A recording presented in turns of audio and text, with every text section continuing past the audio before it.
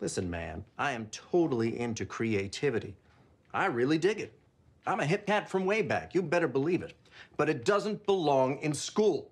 Art should be locked up in a museum where old people can enjoy it or children on field trips. You stole fizzy lifting drinks. You bumped into the ceiling, which now has to be washed and sterilized, so you get nothing. You lose. Good day, sir. Well, maybe if you had worked that hard on something worthwhile instead, like, for instance, your schoolwork, we wouldn't be here right now. I said good day.